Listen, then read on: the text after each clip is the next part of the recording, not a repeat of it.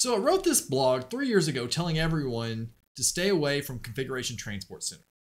But today I explain why now is the time to start using the CTC on all of your projects.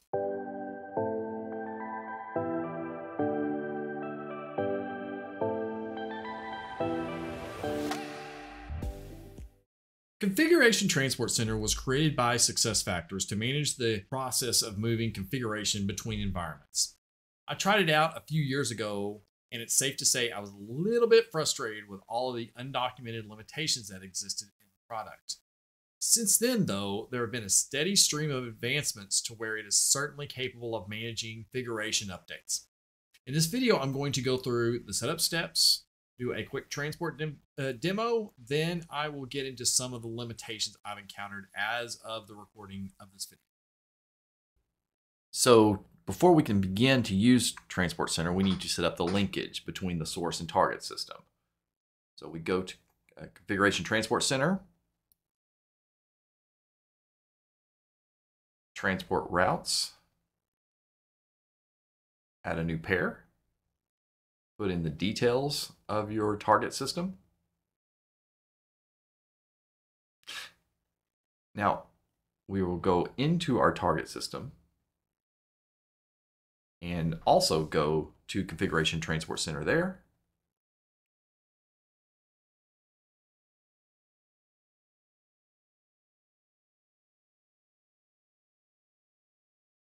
And we're going to go to transport routes and we have to copy the token that was generated when we requested one. And finally, go back to our source system and put in that token. Okay, so we've established the linkage. Now we can begin using Transport Center. So I'm briefly going to explain the transport process at a high level. Then we're going to go in and actually do it. The first step in the process is obviously to open the Configuration Transport Center. In there, you can identify what objects you want to send across. Then you will also need to actually create the bundle. The bundle is what contains the objects that you're going to be sending up. After creating the bundle, what I'm also going to show you is that you can also go into the applications themselves into things like manage data and directly add objects into the bundle as well before you transport it. So once you've done that and you're ready to transport it, then you will export it from your source system. Then you will go over to your to your target system and you will do the import there. So let's go in and show that process now. So we're going to go through a couple of examples here. The first one is going to be adding a business rule through the configuration transport center. And as the arrow shows, you need to choose which configuration area you are working with. That is really important because that will drive what kinds of uh, configuration types are uh, visible. So you may have be playing around looking for that. The next thing we're doing here is we're setting the last modified date to last seven days so that we're not seeing a whole bunch of irrelevant uh, elements. Here we are selecting the business rules based off of the last seven days uh, of edits and then we are creating the bundle is the next thing. So I click add to new bundle. I will give that bundle a name. I will create it and then boom, that object is automatically added to that bundle. So that is the process if you're going through Configuration Transport Center. Now, this next part is going to uh, show what it's like if I add an object definition to an existing bundle. So I am in the application itself rather than the CTC and I'm looking up uh, the object definition here.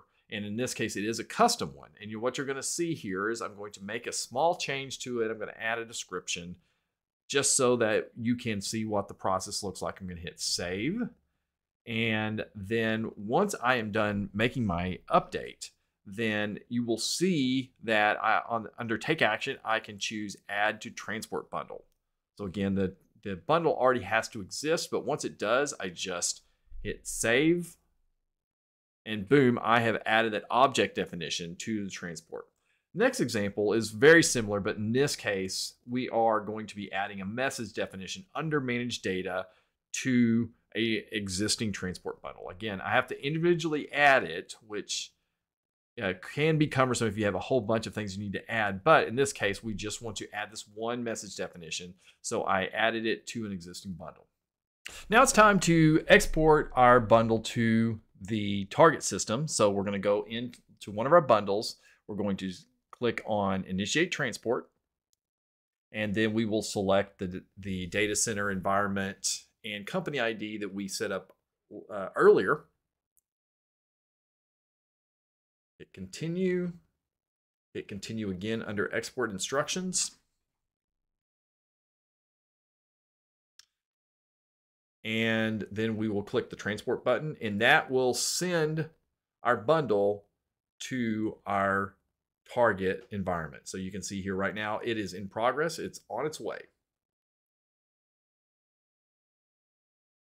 Now going back in, looking at the transport request and you can see boom it has moved over and it is ready for import so that tells us we can go into our target system and here's our target system so again i'm in ctc there transport request imports hit refresh and we should see our bundle and we do and so we, there's a two-step process first step is going to validate and that will tell us if there are any problems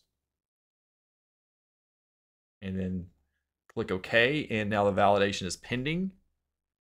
You'll hit refresh and boom, uh, the validation was successful. Um, if there was a problem, you would see get a report. Um, I hit uh, import now and then click import again. And now the process is effectively going to be done. Now I'm going to go to uh, business rules and you will see that rule exists now. So the process was successful. Now let's talk about limitations.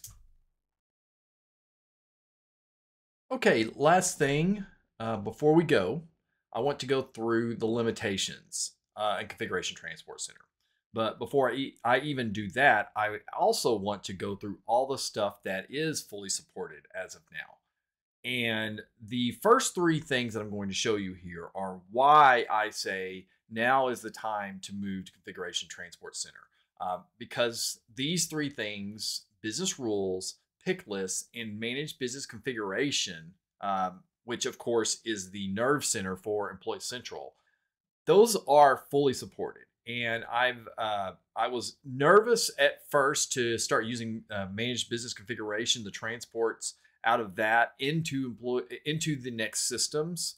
But I've had some pretty good success with that so far. So I think we are uh, ready to go and to start using that full time. So if you're adding a new field or if you're adding a business rule to a field, you should be able to do that now through Configuration Transport Center, which is huge because that was one of the big holdouts to where we were having to do dual maintenance. So uh, again, those first three uh, in and of themselves mean it's time to start moving towards uh, using Configuration Transport Center. Uh, other than that, uh, we also have all legacy foundation objects, of course, uh, event reasons, workflows, etc.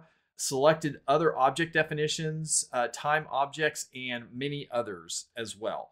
One one note of caution I do want to provide here uh, when it comes because when it comes to things like uh, legacy foundation objects, let's say that you have a couple of thousand foundation objects of say like pay components it will take you a while because you cannot you can only add like 40 or 50 at a time and i believe there's a limitation on how big the the full list can be as well. But you know, when you're adding to the bundle it's going to take some time. So definitely uh, plan on this taking a little bit of time the first time that you're migrating this up but then uh, again, I think that the intent behind this product is more for your ongoing processes. So anyway, just a, a note of caution there. So that's the fully supported group. Next up, let's talk about the things that are supported uh, to if you individually select and add to the existing bundles. So that process that we went through earlier. So the key things to note here are all object definitions, including custom, are available to be added uh, to transports. And that works perfectly fine. You don't need to have to go into a configuration transport center and look those up uh, because if you're changing object definitions, you're not changing 16 of them at a time. You're, you're changing one of them at a time. And so adding those to transports is not a big deal.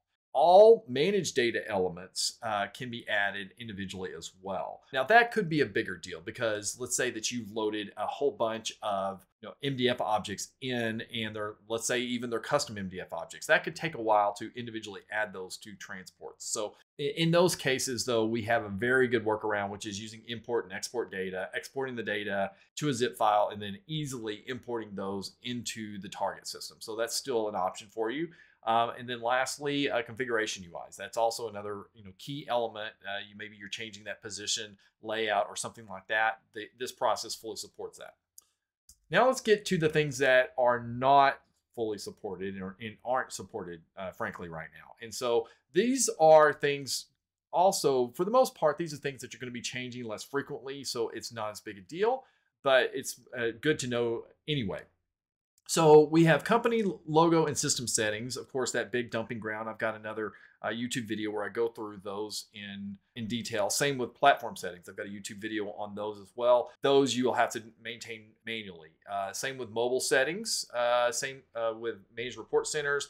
Document template set uh, mappings. That should be uh, something to, to consider. Again, these are on the roadmap, so hopefully that'll be coming soon.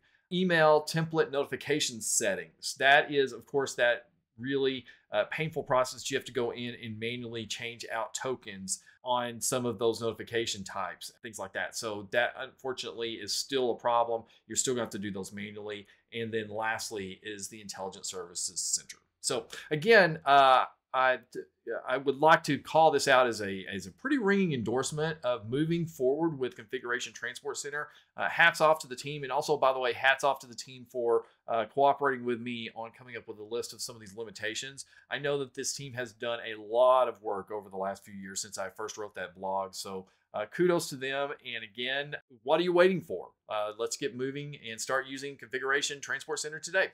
Uh, thanks a lot.